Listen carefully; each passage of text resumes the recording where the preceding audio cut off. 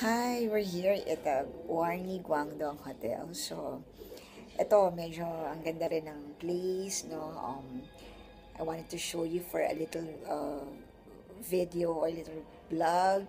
So, ang ganda, ang ganda ng uh, weather. Um, it's nice to be back here in Hong Kong. So, yan, yan yung um, building ng Hong Kong. So, I wanted to take a glimpse of it. Yan.